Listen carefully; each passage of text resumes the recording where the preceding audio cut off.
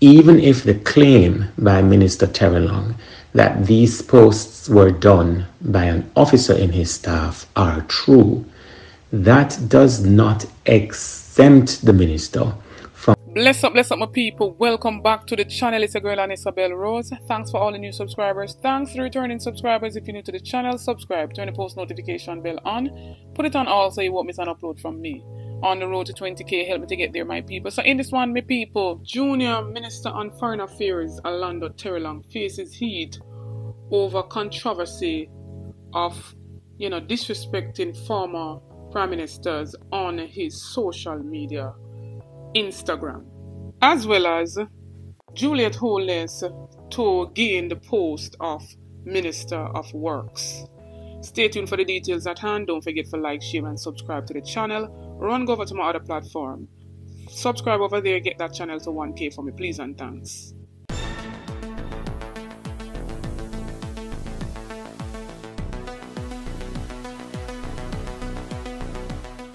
Some people were seeing these two photos making their rounds on social media where we're seeing the junior minister of foreign affairs Orlando Terrelonge, you know, speaking to someone and you know these pictures were posted to his Instagram where we look in the back there you see all of the prime ministers of Jamaica and they blotted out the two People's National Party prime minister that's Percival James Patterson and Portia Simpson Miller.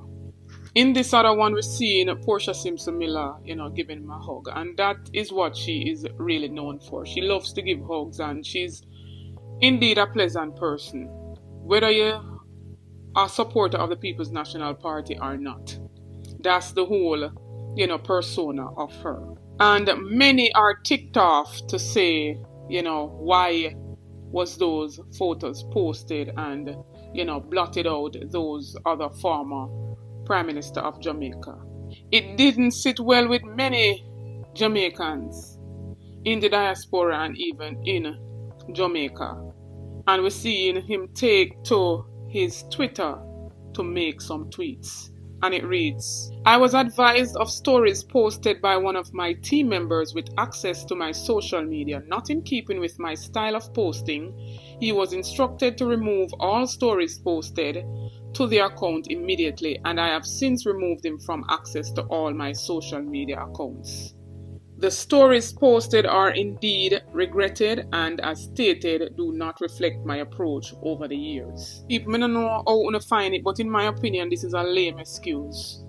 Even if other persons have access to your social media, you have access to it too, so therefore, whatever is posted, you will be um, seeing it right away just the same.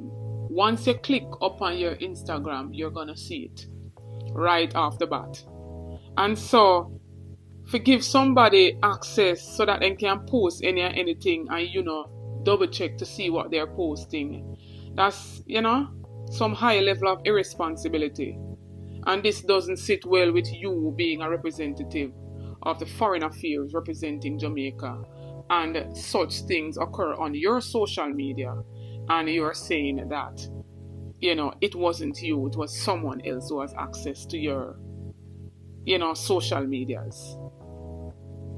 Me not buy that my people, but wanna jump and tell me what wanna say in the comment section. And I am not coming out because this is two former People's National Party Prime Minister.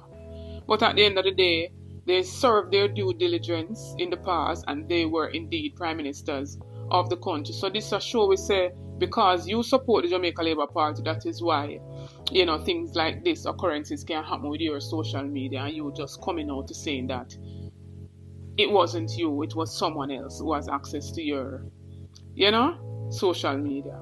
But right now we're seeing, you know, Raymond Pryce, and he has been speaking out from ever since saying that, you know, there is a time and place for certain things when it comes down to the minister. They shouldn't even be using their social media you know, to promote no form of politics.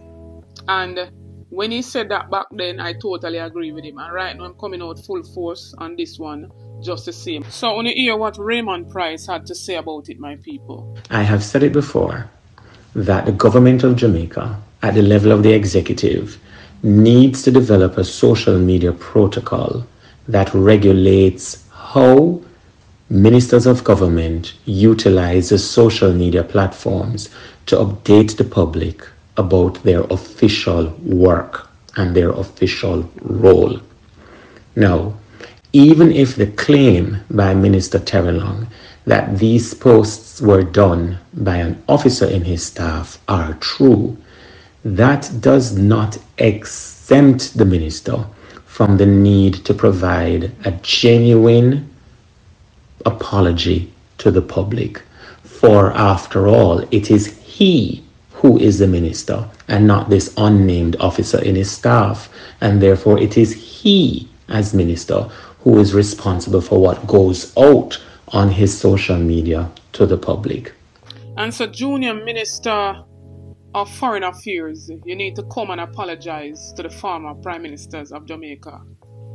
We don't need no politics in that realm. You're sitting in an office where respect is due to all the former and present um, prime ministers. And for two former People's National Party prime ministers to be blotted out shows that you're still in political mode. And when you're given an office, you must serve in that office for all. Why didn't he blot out all of the other prime ministers instead of those two that represented the People's National Party? Politics all over and you are responsible for everything that goes on on your social media. And so you need to come out with a public apology or you step aside. That's rude and disrespectful. Businessman Howard Mitchell suggests that the Prime Minister Andrew Holness should consider appointing Member of Parliament for East Rural St. Andrew Juliet Holness to the post of Minister of Works. And this came about because, you know, we heard of some news circulating that the Prime Minister will do, you know, some reshuffling to the cabinet, or better yet, release some people allegedly come this Sunday. The works portfolio has been vacant since Everald Warmington was relieved of his duties by the Prime Minister on February 29, 2024. Mitchell says Juliet Holness has the tools to successfully drive project implementation through the Works Ministry because this heap building, building we share build. You know, we're seeing she taking on a whole lot of projects as it pertains to apartments and all of that. 800 million apartments. And so it could be right that she should be, you know, transferred to that Department of Ministry of Works. And so who will take up the post of the House Speaker? But may I to listen some more of what Mr. Mitchell had to say. I do recognize that there is at least one cabinet position that must be filled, and that is to replace Everald Warmington and it possibly could be an opportunity for the Prime Minister to solve two problems at, the one, at the same time and move Juliet Holness to that position and put somebody like Delroy Chuck, who has experience in there, to, to hold for the year or so that is left move somebody like Zavia Mayne, who is a good lawyer, into justice and who has served, has some ministerial, junior ministerial experience, it would solve two problems because I think Mrs. Holness would be more comfortable with heavy equipment and the, the subtle nuances of the, of the speakership. But I think Mrs. Holness would probably have to manage herself carefully in that position. But that position is critical now because that is where most of the money is going to be spent leading up to the election. And Mrs. Holness does have considerable operational talents and she does have an ability to get on the ground. She's demonstrated that. She also has experience in the area of construction and, and, and, and general infrastructure works. So yeah, you're going to get controversy anywhere you go. Well, talk to my people in the comment section and let me hear what Una says based on everything that was said in this video.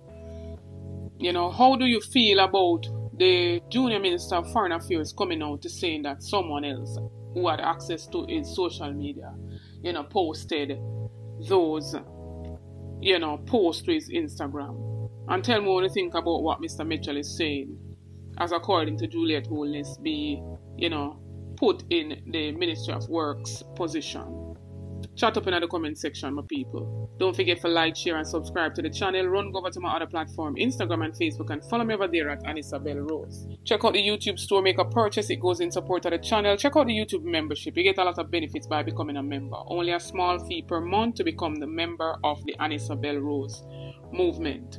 Member shout out goes to Angela and Ivan Wallace. Big up on yourself, Mrs. Thanks for the continued support. We do notification shout out in each and every video to be a part of that. All you have to do is be the first to like, comment, and subscribe, and you'll be featured in the following video to come. This notification shout out goes to Pat W. Big up yourself, Pat. Thanks for the continued support from each and every subscriber. New viewers, come on board, journey with me, join the family. Subscribe to the channel, like up the video, share out the videos. Support the ABR movement by playing your part. On the road to 20k, help me to get there, my people. Get this video to at least 2,000 likes. Stay tuned for more videos. Stay tuned for more updates. Big up on yourself.